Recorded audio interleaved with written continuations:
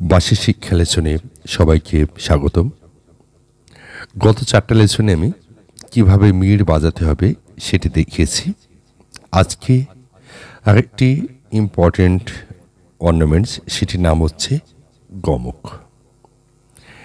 তো মিড়ের ব্যবহারটা গানের বিশেষ বিশেষ জায়গায় দিতে হয়, কিন্তু গমকের যে ব্যবহারটা, এটা সবসময় চলতেই থাকে।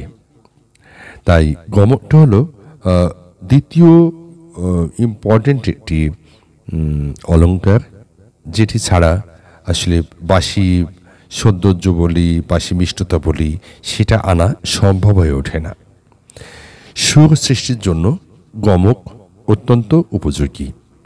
যেমন পা ধা নি যদি বাজাই তে সিম্পল নোট বেজে যাবে। কিন্তু যদি গমক দিয়ে বাজাই তাহলে একটা নোটের সাথে দ্বিতীয় নোটের যে সুরের যে সম্পর্কটা, সেটা সৃষ্টি হবে। তো আজকে আমি সেই বিষয় নিয়ে কথা বলব এবং দেখাবো কীভাবে গমক বাজাতে হয়। অনেকেই আছেন যারা কথা শুনতে ভালোবাসেন না, কিন্তু কথা ছাড়া আমি যতই দেখাই, আপনি জীবনে বুঝবেন না আমি কীভাবে বাজাচ্ছি এবং কেন বাজাচ্ছি এটা, গমকটা কি আসলে? যদি এটুকু না জানেন, তাহলে গমক আপনি কীভাবে বাজাবেন? শুধু এটা না প্রতিটা বিষয় এমন। আগে শুনতে শোনা শিখবেন। অনেকেই কমেন্টসে লিখেন যে কথা বেশি বলেন আপনি। এটা বড় কথা না। আগে শোনা শিখতে হবে। যদি শুনতেই না পারেন আপনি আপনি কিছুই শিখতে পারবেন না। বইতে অনেক কথা বই অনেক কিছু লেখা আছে। বই তো কথা বলে না। তাহলে বই দেখে তো আপনি অনেক কিছু শিখতে পারতেন। কিন্তু এটা হয় না। ওস্তাদদের সান্নিধ্যে বসা মানে ওনার কথাগুলো শোনা। উনি কি নোট বাজাতে বলছেন, কি বাজাতে হবে, এটা বড় ব্যাপার না। বড় বড় ব্যাপারটা হলো, কথাগুলো মন দিয়ে শোনা। আপনি যদি আপনি যদি থিওরি না জানেন, প্র্যাকটিক্যাল জীবনে আপনি করতে পারবেন না। এর জন্যে আগে শোনা, অভ্যস্ত হতে হবে, আর শোনা শিখতে হবে। যাই হোক, আমি গমক বিষয়ে কথা বলি। গমকটা হলো মিড় যেমন একটা লম্বা বড় ঢেউ, গমক হলো মিড়ের চেয়ে একটু ক্ষুদ্র ঢেউ এটাও মিড় তবে এটি ছোট। এই ছোট ঢেউ হিসাবে এটা একটা আলাদা নাম দেওয়া হয়েছে, গমক। যেমন, আমি যে ধা বাজাই, তাহলে আগে যেমন বাজিয়েছি, নিত্যে মিট দিয়ে ধা বাজাচ্ছে, অর্থাৎ নিত্যে শুরু হয়ে ধায়ে শেষ হয়। ঠিক এমন।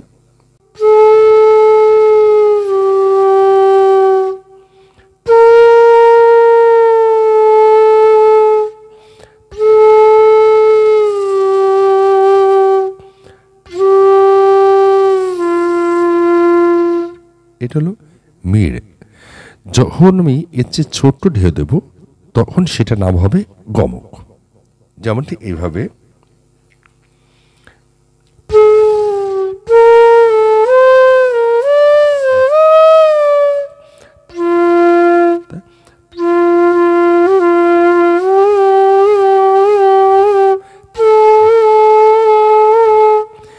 ছোট ঢেউ দিচ্ছি, এটার নাম গমক। মিড় বাজানোর সময় আমরা আঙ্গুলটা টোটাল উঠিয়ে বাজিয়েছি। অর্থাৎ যখন আমি ধা বাজিয়েছি, তখন নিটা টোটালটা উঠিয়ে ধায়ে থেমেছি। কিন্তু গমক বাজানোর সময় ছিদ্র থেকে আঙুলটা ওঠানো যাবে না। এই ছিদ্রে বসেই আঙ্গুলটা এইভাবে নড়বে, তাহলে সেটা গমক বাজবে।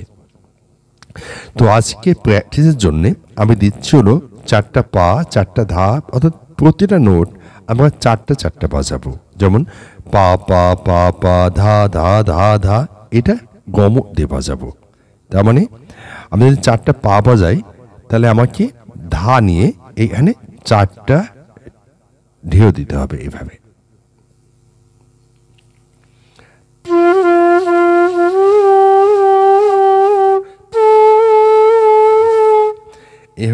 ঢেউ দিতে হবে। তাহলে এটার নাম হচ্ছে গমক।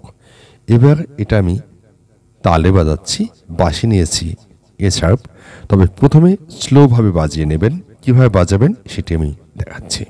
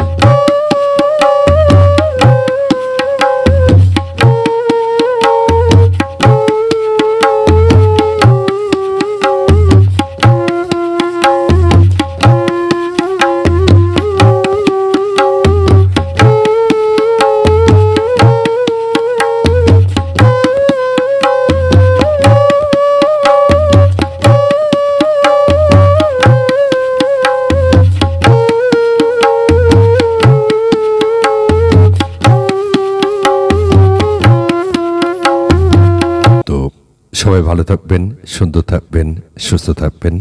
কথা হাফেজ।